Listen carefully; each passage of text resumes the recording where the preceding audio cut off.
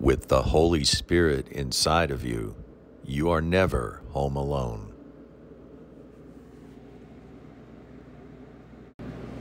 Top of the morning to you. So, the Holy Spirit is the third person of the triune God. 1 John 5 7, there's the Father, the Word, the Holy Spirit. There's three in one. John 1:14 explains the word became flesh and dwelt among us speaking about Jesus. So that's where that it says the Father, the Word, Jesus, and Holy Spirit. So trying to describe Holy Spirit and what He does for us is sort of like um, quenching your thirst with a fire hose. It's just too much and overwhelming sometimes. But we're going to try to scratch the surface here. So how do we get the Holy Spirit? Luke 11:13 Holy Spirit can be given by the Father to those that ask.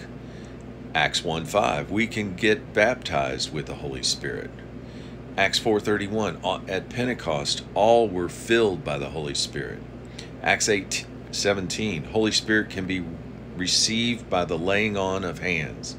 Acts 10:44 Holy Spirit can fall on those who hear the word of God.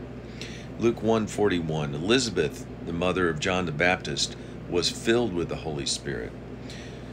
So, once received, what can we expect from Holy Spirit? Acts 1:5 Holy Spirit gives us power to witness to others about Jesus. Acts 4:31 Holy Spirit helps us to speak God's word in boldness. Acts 9:31 Holy Spirit gives us comfort.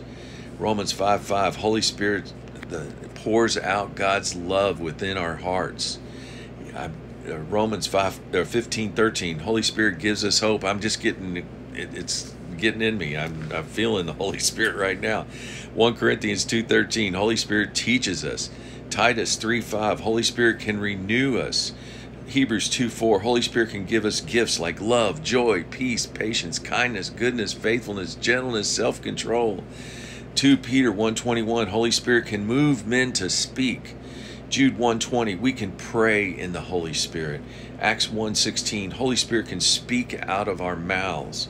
Ephesians 4:30, Holy Spirit is very sensitive and he can be grieved. Um, 1 Corinthians 6:19, Holy Spirit resides in our bodies. So be encouraged today. This same Holy Spirit that was in Jesus is in us.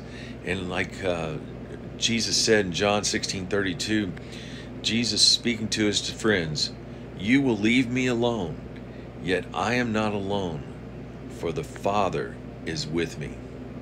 You are never home alone when you have the Holy Spirit. Have a great day.